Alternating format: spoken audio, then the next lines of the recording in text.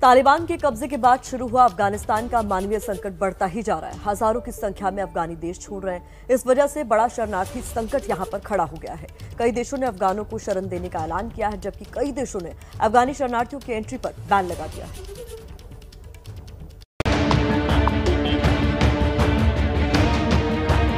दिल्ली से लेकर वॉशिंगटन तक। टोरंटो से लेकर लंदन तक। काबुल से उड़ रही है उड़ान। पाकिस्तान का इनकार, हिंदुस्तान करें स्वीकार। लेकिन सबसे बड़ा सवाल कि आखिर इन शरणार्थियों का भविष्य क्या है? इन शरणार्थियों के लिए आगे का प्लान क्या है? इनको लेकर दुनिया भर का रुख क्या है? कब तक आम अफगानी अपना सब कुछ छोड़कर यूँ ही भागता रहेगा, यूँ ही मरता रहेगा, यूँ ही अपनों को खोता रहेगा? सबसे पहले उन देशों की बात, जिन्होंने अपने दरवाजे परेशान, हताश अफगानियों के लिए बंद कर दिए हैं। ये वो देश हैं जो खुद को अफगानियों का मित्र बताते हैं, लेकिन ज़रूरत के वक्त इन्होंने अपना मुँह मोड़ लिया है। प्रधानमंत्री इमरान खान ने जून में कहा था कि अगर तालिबान ने नियंत्रण कर लिया तो उनका देश अफ़गानिस्तान के साथ अपनी सीमा को सील कर देगा। लेकिन सीमा पर सतर्कता की कमी की वजह से बड़ी संख्या में अफगानी भागकर पाकिस्तान में घुस रहे हैं। एक अनुमान के मुताबिक पाकिस्तान में समय करीब 30 लाख अफगान शरणार्थी मौजूद हैं। सवाल ये कि खुद को अफगानियों का हितैषी बताने वाला पाकिस्तान आखिर क्यों इस मुश्किल वक्त में अफगानियों से मुँह मोड़ रहा है?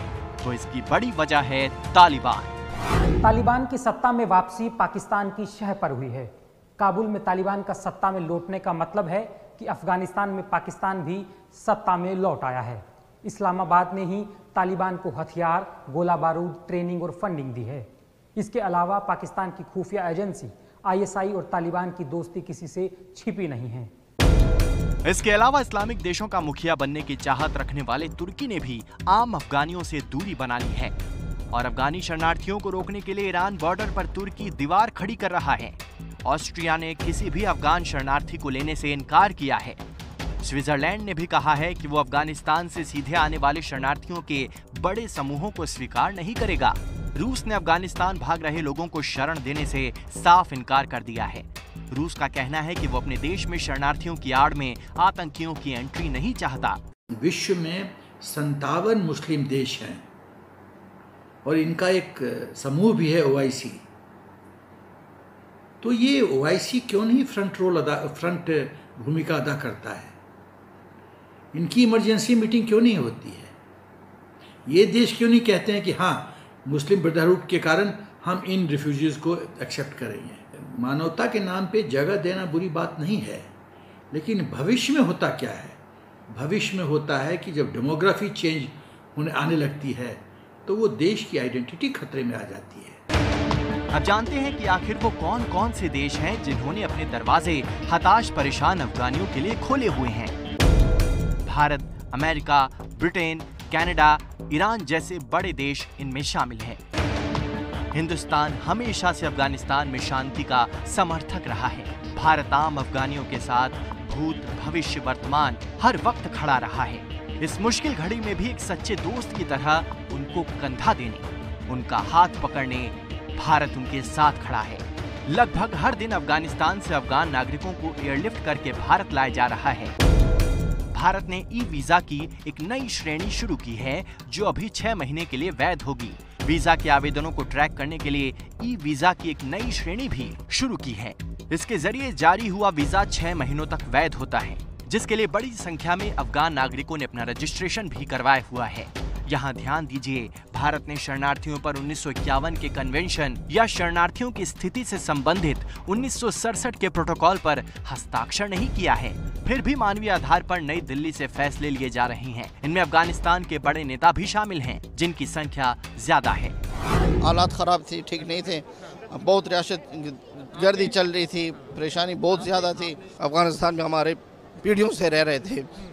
इस तरह हालात जो एक हमने नहीं देखा तो जो आप देख रहे हैं उधर, सब कुछ हमारे एरिया सब कुछ ख़त्म हुआ बीस साल जो गवर्नमेंट बनी थी अतः, सब कुछ ख़त्म है उधर, अब ज़ीरो है। हम सब कुछ छोड़कर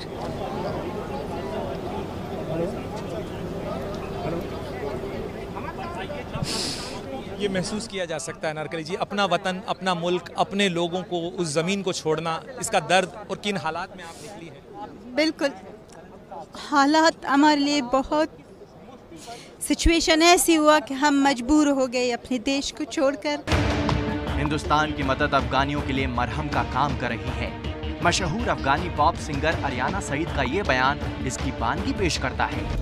पूरे अफ़गानिस्तान की ओर से मैं भारत के प्रति आभार व्यक्त करती हूँ और शुक्रिया कहना चाहूँगी। इस मुसीबत की घड़ी में हमें यह पता लग गया है कि पड़ोसी देशों में से भारत ही हमारा अच्छा दोस्त है।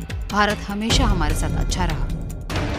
20 साल बाद अफ़गानिस्तान से अपनी सेना वापस बुला रहा अमेरिका भी इस मुश्किल घड़ी में अफगानियों के साथ दिखना चाहता है। व्हाइट हाउस के एक अधिकारी के मुताबिक 14 अगस्त से अब तक तीस हज़ार ऐसी अधिक लोगों को काबुल से बाहर निकाला गया है। लेकिन इसमें कितने अफगानी नागरिक हैं इसका आधिकारिक खुलासा अब तक यूएस ने नहीं किया है। हालाँकि राष्ट्रपति जो बाइडेन ने इसके लिए 3,709 करोड़ रुपए का फंड भी जारी किया है। इसके अलावा ब्रिटेन और कनाडा बीस बीस हज़ार जर्मनी दस हज़ार युगांडा दो हज़ार अफगानियों को अपने देश में एंट्री देने के लिए तैयार है। ऑस्ट्रेलिया का भी मानवीय वीज़ा कार्यक्रम के तहत अफगानियों के लिए तीन हज़ार जगह सुनिश्चित करने का प्लान है। ईरान ने भी अफ़गानिस्तान की सीमा से लगे अपने तीन प्रांतों में शरणार्थियों के लिए आपातकालीन तंबू स्थापित किए हैं। लगभग डेढ़ हज़ार अफगानों के अफ़गानिस्तान, उज्बेकिस्तान सीमा पार कर शिविर स्थापित करने की खबर है। अमेरिका इस समय काफ़ी देशों की सरकारों से बात कर रहा है कि अगर आप अफगान रिफ्यूजी अपने यहाँ रखें 2000 5000 ऐसे कुछ नंबर, वो आपको मैं भेज दूँगा, क्योंकि अमेरिका जो ला रहा है रिफ्यूजी वो काबुल से उठा के उनको या तो दोहा ला रहा है भी, या काबुल से उनको जर्मनी ले जा रहा है, अपने एयरबेस पे। वहाँ से वो उनको अमेरिका नहीं ले जा रहा है। उनको इन देशों में डायरेक्टली ही भेज दे इस्तोनिया में अल्बानिया में युगांडा में, जहाँ से उसने डील कर लिया। अफ़गानिस्तान से रोज़ाना डराने वाली तस्वीरें सामने आ रही हैं। दुनिया भर के नेता रणनीति बनाने के लिए मीटिंग कर रहे हैं। कूटनीति के ज़रिए समस्या के समाधान की कोशिश हो रही है। लेकिन आम अफगानी डरा हुआ है। और किसी तरह जान बचाने के लिए दूसरे देश जाने को मजबूर है।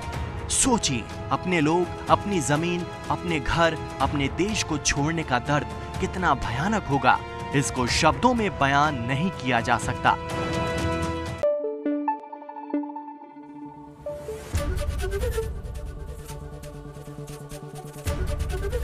एबीपी न्यूज़ आपको रखे आगे।